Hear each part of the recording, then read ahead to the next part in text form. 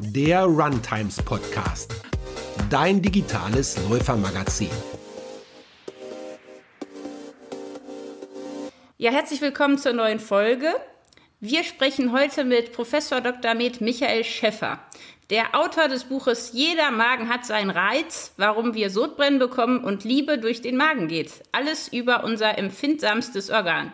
Ja, hallo, Michael Schäffer. Ja, guten Morgen, Frau Bühne. Ich freue mich total, dass wir uns jetzt mal hören.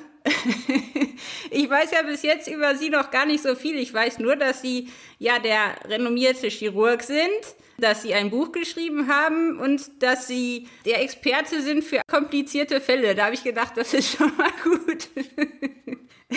Ja, das ist zumindest ein guter Start. Der Magen ist ja mit unser wichtigstes Organ und ich glaube, das ist ein gutes Thema, auch für Ihre Interessengruppe, für Ihre Läufer und alle, die gerne Ihre Podcasts hören. Ja, und ich habe gehört, dass Sie es auch verstehen, Laien Dinge einfach zu erklären. Das finde ich auch gut, weil wir sind ja hier keine Ärzte. Das heißt, Sie müssen uns die Dinge einfach vermitteln. Wir versuchen es ganz einfach. genau. Ähm, ja, vorab, ich weiß, dass Sie Förliebhaber sind, drei Kinder haben und dass Ihre Frau mal einen alten Traktor hatte, einfach so. Stimmt das? Das stimmt tatsächlich. Äh, wir haben einen alten roten Traktor der uns dann auch immer wieder in die Umgebung von Stuttgart führt, durch die Weinberge. Und so frönen wir dann auch den Dingen, die dem Magen wirklich gut tun. Großartig. Also Sie beschäftigen sich ja schon lange mit dem Magen und ich habe so das Gefühl, dass seit ein paar Jahren der Darm so ein Thema ist, das immer mehr in den Mittelpunkt rückt und uns beschäftigt. Aber warum ist der Magen unser empfindsamstes Organ? Was macht ihn so sensibel? Also der Magen steht vermutlich noch mehr als der Darm mit Hormonen und Nerven mit dem Hirn im Austausch. Und das prädestiniert ihn dafür, noch sensibler zu sein als der Darm. Das spiegelt sich dann auch in all diesen Redewendungen wieder, die wir so im Alltag kennen. Liebe geht durch den Magen, ähm, das schlägt mir auf den Magen, ich habe ein Bauchgefühl. Also all diese Dinge, die so ein bisschen auch was mit der Psyche zu tun haben, finden wir im Alltag wieder bei unseren Redewendungen. Und das sind ja meistens sehr, sehr traditionelle Erkenntnisse. Das ist überliefert über Generationen. Und das ist gar nicht so, so ungewöhnlich, dass dann äh, zunächst mal der, der Darm in den Vordergrund äh, tritt, weil viele Patienten oder, oder Menschen natürlich ein bisschen Probleme mit ihrem Darm haben, weil sie sich dann gerne auch, auch konzentrieren darauf, ob sie regelmäßig Stuhlgang haben oder nicht oder zu häufig oder zu selten. Aber das eigentliche Sensibelchen ist der Magen. Und was ist genau dann der Unterschied? Weil die arbeiten doch auch zusammen, für Laien jetzt erklärt. Die arbeiten zusammen, ja. Der Magen ist so der Vorhof zum, zum Darm, der bereitet ähm, das, die Mahlzeit vor, damit sie verdaut werden kann. Er zerkleinert nicht nur, sondern desinfiziert. Das heißt, er hat eigentlich sehr weitreichende Aufgaben. Und er steht eben mehr als der Darm mit Hormonen und Nerven mit dem Hirn im Austausch. Und das ist der Grund, warum er letztlich auch ein bisschen sensibler ist als der Darm. Ja, wie sieht der eigentlich so genau aus? Also äh, kann man sich das irgendwie vorstellen? Und was mich natürlich noch mehr interessiert ist, Sie sagten gerade schon, dass, dass er so einige Aufgaben hat. Was macht er denn sonst noch alles so tagsüber und auch nachts? So groß ist der Unterschied eigentlich gar nicht. Also der, der Magen ähm, hat ja ungefähr so ein Füllungsvolumen zwischen ein und zwei Litern. Das, das variiert von, von Mensch zu Mensch. Ähm, sehr große und kräftige Personen haben typischerweise ein bisschen größeren Magen, wobei das im Einzelfall also auch stark schwanken kann. Der Magen hat so eine Hakenform. Das ist ent entwicklungsgeschichtlich bedingt, damit der Darm auch so ein bisschen zur, zur Seite sich anschließen kann. Und ähm, von außen sieht er also hellrosa blass aus, ist nur von, von so einer Schutzschicht überzogen. Von, von innen hat er allerdings ganz viele Falten, ähnlich wie, wie der Darm um seine Oberfläche zu vergrößern. Und das Ganze nennt man dann von innen auch die Schleimhaut. Und das Interessante ist, und da spiegelt sich dann auch schon wieder diese Sensibilität wieder, ist, dass wenn man sich sehr aufregt, dann wird da die Magenschleimhaut dunkelrot, also fast karikaturartig dunkelrot. Und wenn man sich dann wieder entspannt, dann, dann glättet sich das alles wieder und der, und der Magen wird ganz hellrosa. Das ist ja witzig. Also da gibt es tatsächlich so eine, so eine tragische Geschichte aus dem letzten Jahrhundert, Anfang des letzten Jahrhunderts, als die Medizin noch nicht so weit fortgeschritten war, der sich seine Speiseröhre verätzt hatte als Kind und bei dem die Ärzte dann in der Not, weil man damals eben noch keine richtige künstliche Ernährung hatte, praktisch den, den Magen mit einer großen Öffnung an die Bauchdecke annähen musste. Man konnte also so von, von außen einfach in den Magen reingucken. Das war die einzige Möglichkeit, wie dieser arme Tropf sich damals ernähren konnte. Der füllte sich dann einfach mit so einem Füllstutzen, füllte der sich immer so ein bisschen vorgekaute äh, Breikost ein. Und da konnte man dann immer gut beobachten, immer wenn er sich stark aufregte, wurde der Magen tiefrot und, ähm, und wenn er sich entspannte und, und, und beruhigt war oder fröhlich war, dann hatte er also eine hellrosa Magenschleimhaut. Und der Magen, der ist also tatsächlich in, in erster Linie dazu da, dass er unsere Nahrung zerkleinert. Es geht immerhin ungefähr eine Tonne Nahrung pro Jahr durch den Magen durch. Ähm, er, er, desinfiziert aber auch, ist ein wichtiges Immunorgan, also bewahrt uns vor, vor Viren, Bakterien, Pilzen, ähm, eliminiert schon frühzeitig krebserregende Stoffe, durchmischt das Ganze wie so ein Betonmischer und gibt das dann alles in so Mini-Portionen dann in den Darm weiter ab. Also diese Mini-Portionen, das sind so ein, zwei Milliliter auf, auf einmal. Also der Magen kann das ganz toll dosieren, auch wenn wir vielleicht mal in große Mengen in uns hineinschaufeln und der Magen bis oben hin voll ist. Abgeben tut er das in Mini-Portionen, damit der Darm dann in aller Ruhe mit der weiteren Verdauung anfangen kann. Man sagt ja, der passt sich ja auch so ein bisschen an, ne? je nachdem, wie schwer man wahrscheinlich auch so wird im Laufe des Lebens. Also ich bin so jemand, ich fange an zu essen und merke nicht, dass ich aufhören sollte. Bei mir kommt das Sättigungsgefühl irgendwie deutlich später erst und dann habe ich mich wieder über, überfressen, jetzt mal ganz platt formuliert. Liegt das dann auch am Magen? Also ich glaube, dass man gern mal ein bisschen viel isst. Das liegt eher so ein bisschen ähm, zum, zum einen, dass wir natürlich ganz viel appetitanregende Dinge zu uns nehmen. Und das hat natürlich auch entwicklungsgeschichtliche Gründe. Früher hatten wir ja eher mal die Situation, also wir reden jetzt von Steinzeit und, und was noch länger her ist, dass wir durchaus auch erhebliche Nahrungsmittelknappheiten hatten. Das heißt also, man hatte unter Umständen wochenlang nicht wirklich was zu essen, vor allen Dingen in den Wintermonaten. Und wenn es dann wieder was gab, dann, ähm, dann war man natürlich froh und hat alles in sich hineingeschaufelt, was man konnte. Ja, das ist bei uns also ganz tief angelegt. Man, man, man kennt es also aus, aus Experimenten, ähm, wenn man ähm, an den Teller eines, einer Mahlzeit so ein so ein Ablaufrohr anbringt, ohne dass die Probanden was davon wissen, und der Teller praktisch nie richtig leer wird, dann isst man unglaublich viel. Also man hört schier nicht auf zu essen. Das heißt, man, man, man ist so ein bisschen konditioniert auch darauf, immer möglichst viel aufzuessen, möglichst alles zu essen, möglichst viel aufzunehmen, bis das alles, bis alle Speicher letztlich wieder voll sind. Und so ganz abgelegt haben wir das entwicklungsgeschichtlich immer noch nicht. Und wenn dann irgendetwas noch besonders appetitlich ist, besonders wohlschmeckend ist, dann neigen die meisten von uns dazu, tatsächlich so ein bisschen übers Ziel hinauszuschießen und gerne ein bisschen viel zu uns zu nehmen. Da gibt es übrigens, und das ist dann schon wieder spektakulär, wenn man so an das Füllungsvolumen eines Magens denkt. Ich hatte ja anfangs schon gesagt, ungefähr ein bis zwei Liter. Aber es, es gibt zum Beispiel jedes Jahr zum Unabhängigkeitstag in den USA, das ist ja der 4. Juli, gibt es ein Wettessen. Und ähm, das ist also höchst spektakulär. Und der aktuelle Weltrekord, der liegt bei 75 Hot Dogs. Oh nee. in zehn Minuten wohlgemerkt.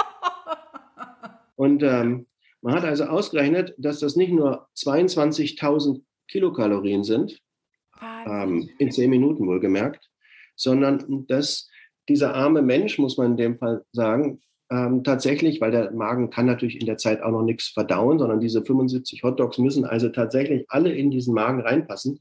Der hat ein Magenvolumen von fast sieben Liter, also einen halben Eimer.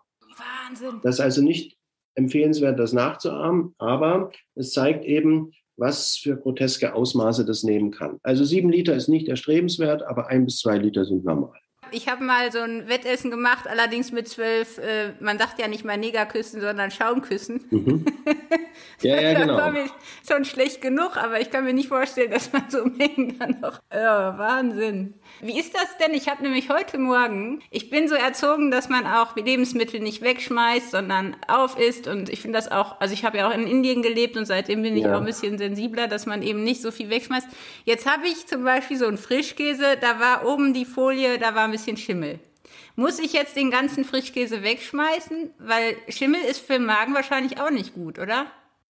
Also nachdem man heute ja in der Regel die Wahl hat, ob man nun verdorbenes Essen isst oder nicht, ist es auf jeden Fall ratsam, diese Dinge dann zu entfernen.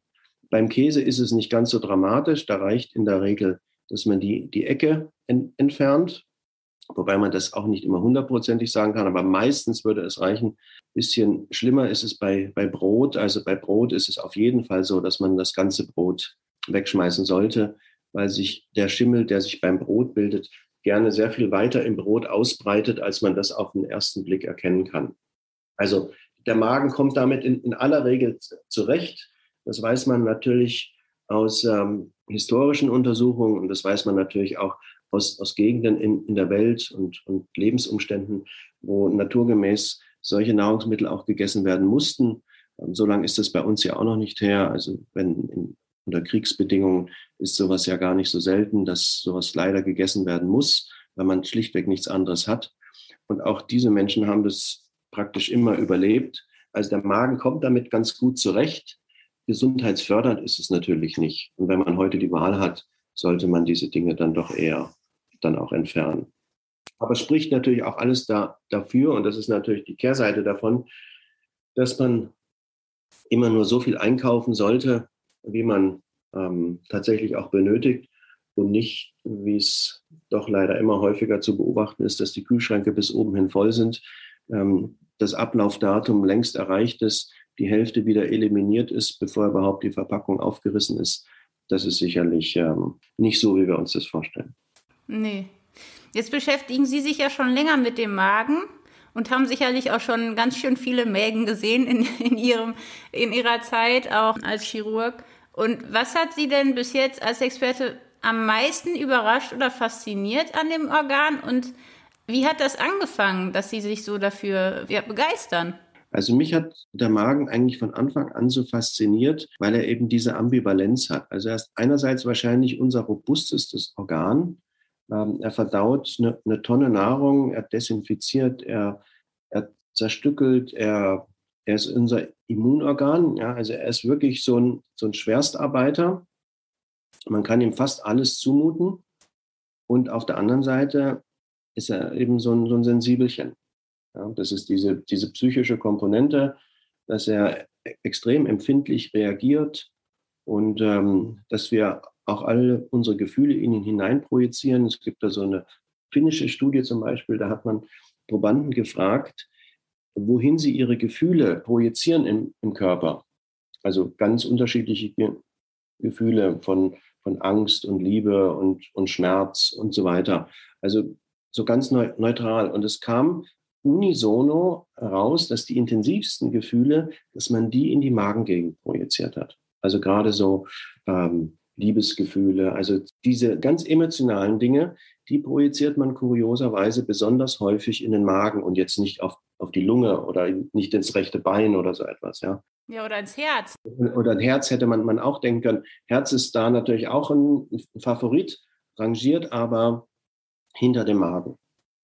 Ja, auch dieses schlaue Gefühl. Also wir Läufer, wir kennen das ja vor allem vor einem Wettkampf oder am Abend vor einem Wettkampf, dann hat man auch so ein Grummeln oder so ein komisches Gefühl im Bauch oder genau. kurz bevor der Startschuss losgeht. Ja. Das merkt man schon auch. Genau, ne? der Magen ist ein echtes Sen Sensibelchen und ähm, man muss auch sorgsam mit, mit ihm umgehen, wenn es einem gut gehen soll. Also einerseits extrem robust. Das ist tatsächlich auch mechanisch betrachtet so die große Chirurgie im, im Bauch, die hat ja so zweite Hälfte 19. Jahrhundert angefangen, ähm, als man angefangen hat, Magen zu operieren oder überhaupt im, im Bauch zu operieren. Und die große Chirurgie hat eigentlich am Magen das Laufen gelernt, so sagt man. Weil der Magen so robust ist, der, den kann man mit einem richtigen Strick zusammennähen und irgendwie heilt er schon. Und das war natürlich in der Anfangszeit der Chirurgie ganz, ganz wichtig, weil damals die Instrumente und, Materialien, also zum Beispiel die, der Nähgarn, den man äh, benutzt hat, natürlich noch nicht so ausgefeilt war und so gut war, wie wir das heute haben. Nicht? Und also die ersten großen Operationen im, im Bauch überhaupt sind sämtlich am, am Magen durchgeführt worden. Ach, interessant. Und was ist jetzt denn für uns Läufer vielleicht ganz entscheidend? Weil ich habe schon das Gefühl, wir nehmen unseren Bauch wahr. Also wir spüren, wenn jetzt zum Beispiel, wenn wir aufgeregt sind oder wenn uns was schwer auf dem Magen liegt, ne? auch gerade so das Thema Pasta-Party und Co. Aber was sind denn vielleicht Ihrer Meinung nach Dinge, die wir Läufer unbedingt über unseren Magen wissen sollten? Weil ich habe manchmal das Gefühl, wir beschäftigen uns gar nicht so sehr damit. Also ich glaube, wenn es einem richtig gut gehen soll, und das ist natürlich gerade unter Wettkampfbedingungen ja immer so die Grundvoraussetzung, dass man ein richtig gutes Gefühl hat, optimistisch in den Lauf hineingeht und, und auch ähm, sich, sich körperlich wohlfühlt, die Voraussetzung dafür ist absolut, dass es dem Magen gut geht. Also achte auf deinen Magen, dann geht es dir auch insgesamt gut. Und ähm, da gibt es natürlich viel, viele Tipps dazu, was man machen und, und nicht machen sollte. Aber es sind vor allen Dingen so drei Aspekte dabei, dass man sagt, also überstrapaziere ihn nicht mit, mit, äh, mit schweren Mahlzeiten, mit, mit viel Fleisch und, und, und stark geräucherten und stark gewürzten. Ähm, das ist etwas, was den Magen belastet. Ähm, dann sind es Medikamente, vor allen Dingen Schmerzmedikamente, die den Magen belasten. Was hat man ja als Läufer auch gelegentlich, ähm, dass man mit den Gelenken oder mit seinen Muskeln Beschwerden hat. Und wenn man dann sogenannte Antiphlogistika nimmt, Ibuprofen zum Beispiel oder so etwas, das ist natürlich stark magenbelastend. Manche reagiert da sehr sensibel drauf. Und dann der ganze Psychostress. Der ganze Psychostress schlägt natürlich nicht nur in der Aufregung von dem Start, sondern vielleicht wenn man in der, in der Partnerschaft Probleme hat oder wenn man am Arbeitsplatz Probleme hat oder wenn man Geldsorgen hat. Es gibt ja un, unzählige Dinge, die einen äh, im Leben belasten können. Dinge, die man vielleicht beeinflussen kann und andere, die man nicht beeinflussen kann. Und da muss man ansetzen. Also stressfrei, also im Sinne von negativem Stress und gesunde, magenschonende Lebensweise. Gibt es da Lebensmittel, die irgendwie besonders hilfreich sind? Oder würden Sie auch sagen, gerade jetzt, also wenn wir jetzt ganz konkret beim Laufen sind, man macht ja immer diese Pasta-Party, ähm, wo auch ja, viele sagen, das ist totaler Unsinn, dass man am Abend vorher nochmal Kohlenhydrat isst. Äh, meistens ja Nudeln mit Tomatensauce oder Bolognese oder so. Ist das auch so ein bisschen so, weil der Magen ja ein Sensibelchen ist, dass da Routine ganz wichtig ist? Also ist es eigentlich wichtiger, dass das so ist, wie er es gewohnt ist? Oder ist tatsächlich dann das Lebensmittel selbst entscheidend oder beides? Wahrscheinlich beides. Also man muss sich natürlich im Klaren darüber sein und das weiß jeder letztlich auch, auch selbst am, am besten, wenn er so ein bisschen in sich hineinhört, dass man häufig natürlich irgendwelche Dinge nicht so gut verträgt. Man weiß heute, dass jeder Dritte, fast jeder Zweite irgendwelche Nahrungsmittelunverträglichkeiten hat. Das hat nicht, nicht unbedingt was mit Allergien zu tun, aber dass er irgendwas nicht so gut verträgt. Also das sollte er natürlich erstmal bei sich selber auch beherzigen, dass man jetzt nicht am, am Abend vorher oder, oder weil man in einem fremden Land vielleicht einen Sportwettkampf hat, dann landestypische Dinge erst, erstmalig ausprobiert und sich dann wundert, dass einem das auf den Magen schlägt. Also Dinge, die gewohnt sind, die man bekanntermaßen gut verträgt, das ist natürlich etwas, was man auf jeden Fall von einem Wettkampf einhalten sollte. Dann gilt natürlich, das wissen Sie viel besser als, als ich, die Empfehlung, die Kohlenhydratspeicher in den letzten ein, zwei Tagen ähm, aufzufüllen. Insofern ist es nicht so ganz abwegig mit den Nudelpartys. Äh, wobei man natürlich aufpassen muss, dass man mit dem Alkohol da nicht zu sehr über die Stränge schlägt. Aber kohlenhydratreich, fett- und eiweißarm, das ist schon auch etwas, was dem Magen gut tut. Und ähm, da ist ernährungsphysiologisch nicht nur jetzt reduziert auf, auf die Nahrungsbestandteile und, und, und was vielleicht dem, der Muskelphysiologie zugutekommt, äh, wird hier Rechnung getragen, sondern vor allen Dingen auch die Belastung des Magen-Darm-Traktes und hier vor allen Dingen dem, dem Magen. Also kohlenhydratreich und eiweiß- und fettarm in den letzten zumindest zwei Tagen ist immer empfehlenswert.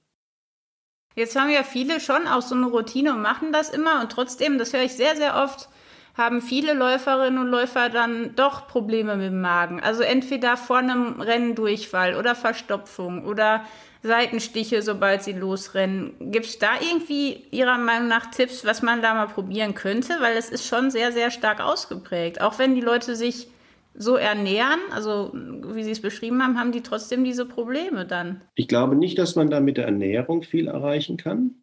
Wenn man das schon ganz bewusst macht, dass man sagt, ich achte da, da drauf, ich, ich nehme magenschonende Dinge, vielleicht auch Haferflocken oder ähm, Kamille, Fenchel, so etwas, das ist natürlich sehr magenschonend. Da kann man natürlich vielleicht noch so ein bisschen nachjustieren.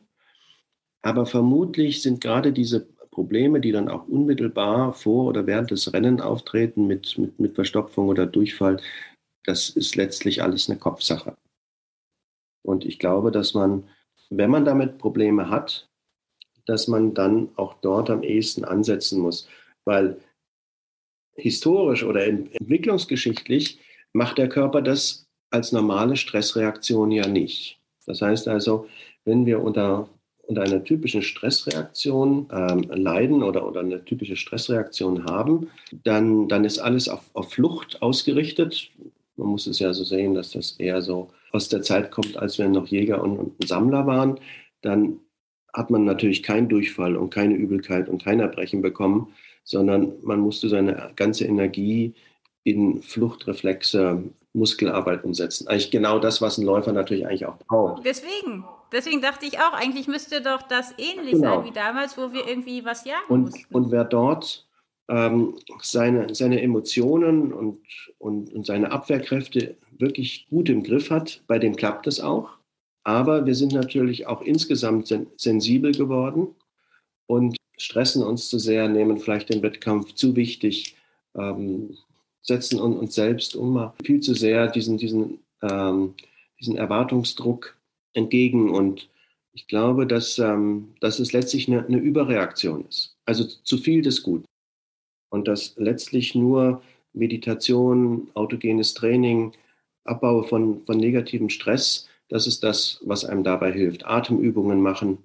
Ähm, ich glaube, mit, mit Ernährung kann man das zwar so, so ein bisschen auf ein gewisses Niveau heben und sagen, ich mache nichts falsch, aber so das letzte Quäntchen, wenn das nicht reicht, ist immer eine Kopfsache. Jetzt gibt es ja trotzdem Dinge, wie Sie gesagt haben, Kamille, Fenchel und äh, Haferflocken, die schon eher magenfreundlich sind. So eine Wettkampfernährung, wenn Sie jetzt als äh, Experte gefragt würden, wie sieht denn die optimale Magenwettkampfernährung aus? Also was würden Sie sagen, sollte ein Läufer, sagen wir mal, der den Marathon läuft oder einen Halbmarathon läuft, morgens essen. Und sind da auch die drei Stunden, wie wir das immer einhalten, richtig oder würden Sie da sogar eine andere Zeit vorschlagen? Also ernährungsphysiologisch würde und, und jetzt unter dem Gesichtspunkt Magen würde man vermutlich sagen, zwei Stunden reichen. Das darf ruhig am Wettkampftag, darf das ruhig auch ein bisschen Graubrot oder so etwas sein, also in, in der Früh um halb sieben, sieben, äh, deutlich vor dem, vor dem Start wenig Butter, bisschen Marmelade, bisschen Frischkäse, also fettarm, kohlenhydratreich, etwas, was die Speicher nochmal so ein bisschen auffüllt und dann so eine halbe Stunde vor dem Start, 45 Minuten vor, vor dem Start nochmal Flüssigkeit und bestenfalls einen kleinen Kohlenhydratriegel, um nochmal so einen kleinen Kick zu geben. Aber auf jeden Fall nichts, was schwer im Magen liegt. Wir wissen das also auch aus, aus der Chirurgie zum Beispiel, dass Zwei Stunden braucht der Magen auf jeden Fall, um halbwegs auch leicht verdauliche Dinge wieder loszuwerden.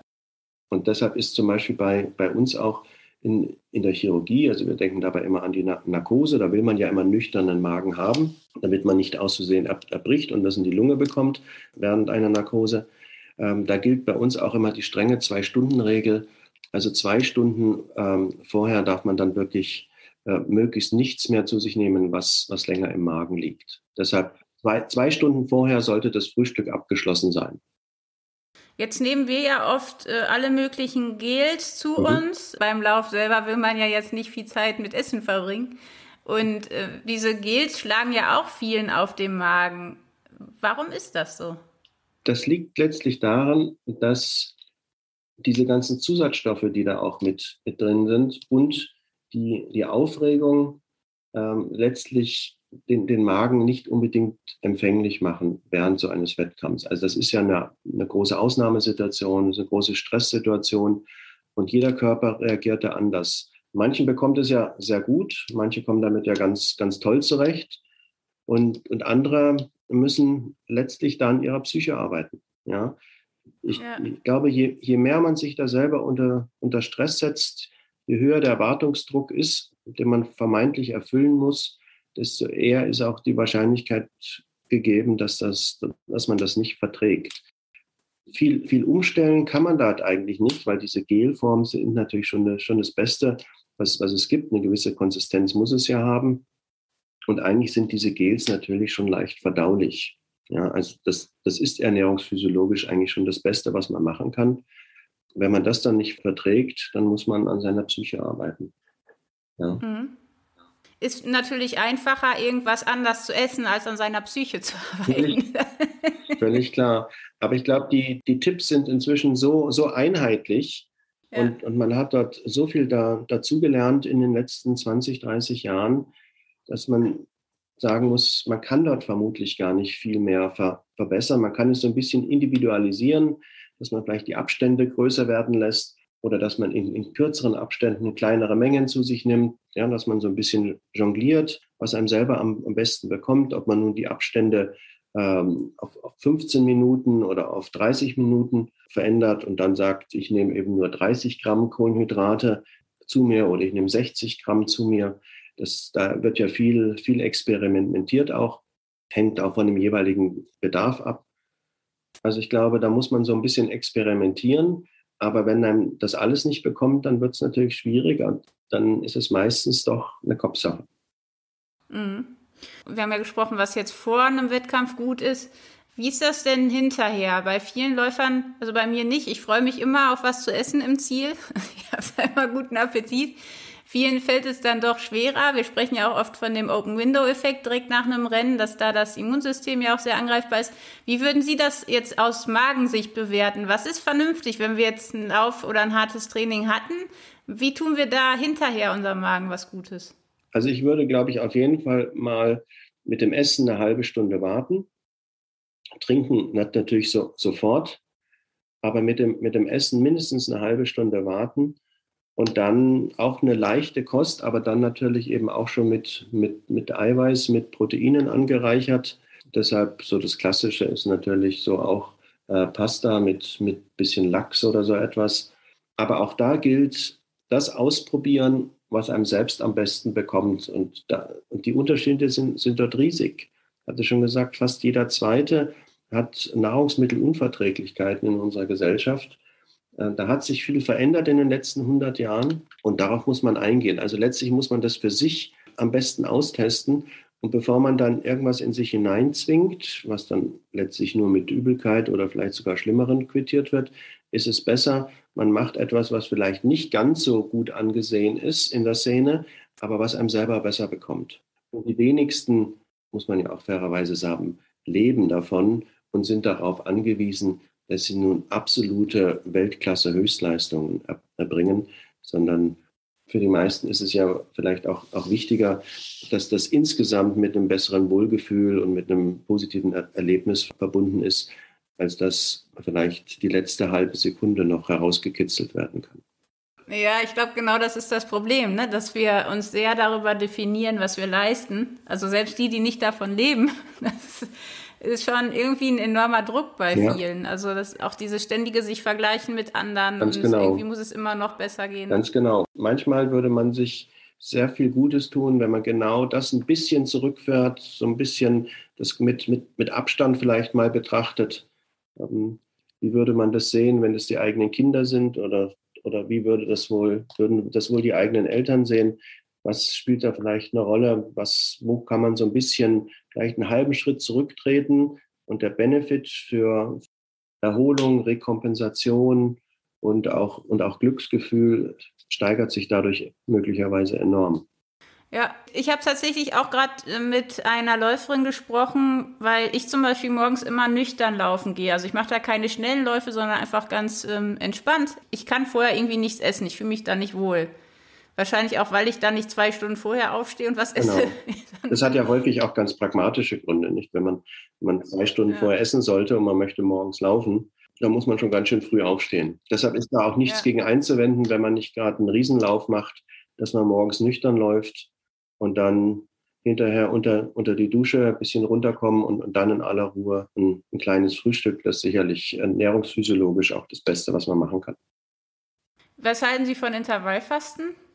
Ist effektiv und ist vermutlich effektiver als, ähm, als andere Formen des Fastens. Aber auch da gilt, das, was bei einem funktioniert, ist das Beste.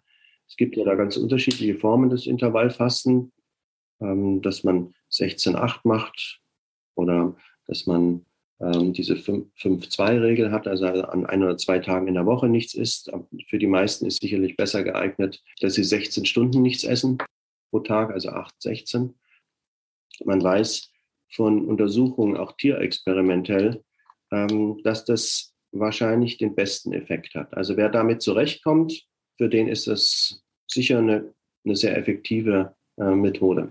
Ja, jetzt habe ich hier so ein paar Punkte, da würde ich kurz mal Ihre Meinung gerne wissen, weil das auch so Streitfragen sind. Ja. Das erste ist, ist Alkohol für Läufer schlecht? Genauso schlecht wie für alle anderen auch. Aber es ist ähm, vielleicht ein Wort da, dazu, weil Medizinern unterstellt man ja gerne so ein bisschen, dass sie da immer auch so kategorisch sind. Also es gibt viele Untersuchungen, die eigentlich belegen, dass ein Glas Alkohol, also wir reden von einem kleinen Pilzglas oder einem kleinen Glas Wein, am Tag besser ist als keins. Genau, das habe ich nämlich auch gelesen und dass man lieber regelmäßig trinken soll als einmal ganz viel. Genau, also, also dieses, dieses Quartalstrinken, der sogenannte Quartalssäufer, das ist nicht empfehlenswert.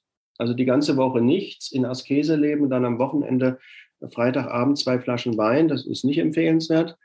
Aber gegen ein, ein Pilzglas oder ein, oder ein Achtel Wein ist überhaupt nichts einzuwenden. Es gibt sogar große Untersuchungen, vor allen Dingen aus, aus England, die belegt haben, dass man sowohl als Mann und als Frau, Männer dürfen einen Tick mehr als, als Frauen, bis zu einem Lebensjahr Lebenszeit dazu gewinnt, wenn man ganz geringe Mengen an, an Alkohol trinkt. Das kippt natürlich bald.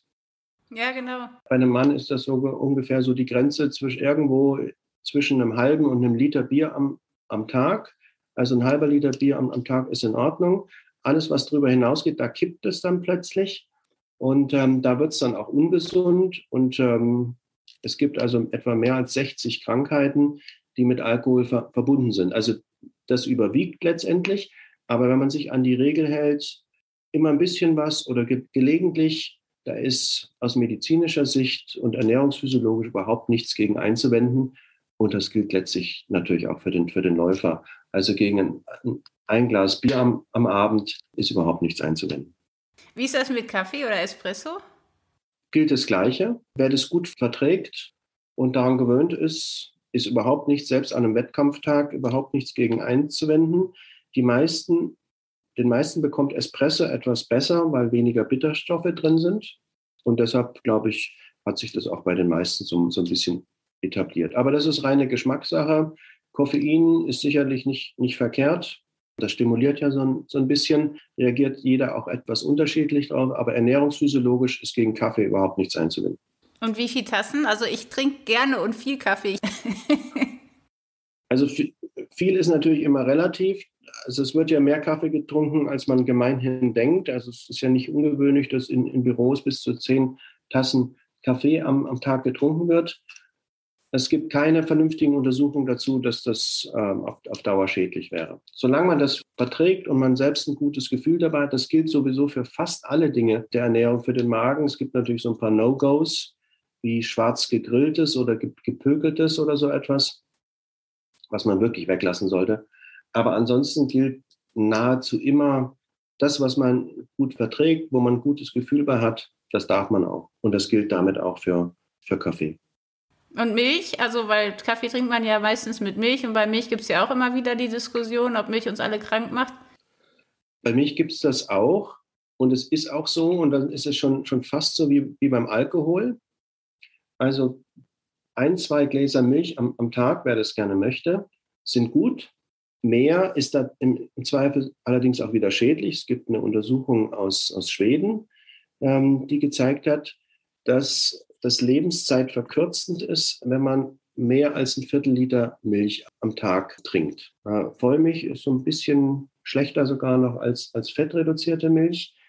Was dagegen in jedem Fall gesundheitsfördernd ist, sind sogenannte Milchprodukte. Also Quark, Kefir, Käse, vor allen Dingen Frischkäse. Das wiederum hat günstige Effekte. Wenn man jetzt also so 100 bis 200 Gramm Milchprodukte am Tag zu sich nimmt, das reduziert zum Beispiel auch das Krebsrisiko. Also in, in geringen Mengen Milch und vor allen Dingen fermentierte Milchprodukte sind gesundheitsfördernd. Große äh, Mengen an, an Milch sind wahrscheinlich eher schädigend. Und dieser, dieser alte Spruch, den wir vielleicht alle noch aus dem Deutschunterricht kennen, Milch macht müde Männer munter, da steckt natürlich nicht viel Wahrheit drin. Ein guter Marketing-Gag gewesen. Das ist guter Marketing-Gag damals gewesen, ganz genau. Aber die, die Aminosäure Tryptophan in, in der Milch, die wirkt sogar eher einschläfernd. Ken, kennen wir vielleicht alle noch als Hausmittel.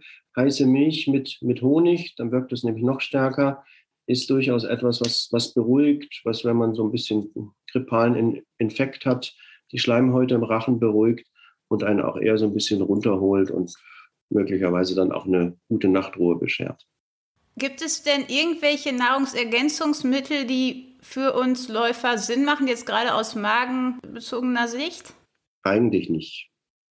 Wer sich ausgewogen ernährt, vor allen Dingen im mitteleuropäischen Kulturkreis, der hat eigentlich unter normalen Bedingungen überhaupt keinen Bedarf an Nahrungsergänzungsmitteln. Und es gibt da viele Untersuchungen zu Vitaminen und, und Spurenelemente, dass das letztlich nicht gesundheitsfördernd ist. Man weiß heute sogar, dass diese ganzen Vitaminpillen vermutlich das Krebsrisiko insgesamt sogar steigern, sodass bei den aller, allermeisten, die also jetzt nicht an, an irgendwelchen konsumierenden Krankheiten leiden, die jetzt also tatsächlich mit einem schweren Mangel einhergehen. Es gibt natürlich schwere Durchfallerkrankungen. Es gibt Patienten, die schon eine schwere Leberschädigung haben oder Krebspatienten.